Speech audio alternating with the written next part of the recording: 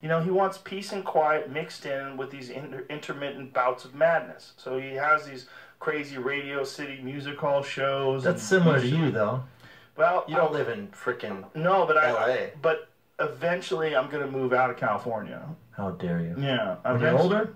No, not that much time. I think pretty soon. No. Yeah. You mean get a place, but you're still gonna be here. I'm gonna eventually be at the store move- and shit. I'm gonna eventually move. Yeah. what? Yeah. For good?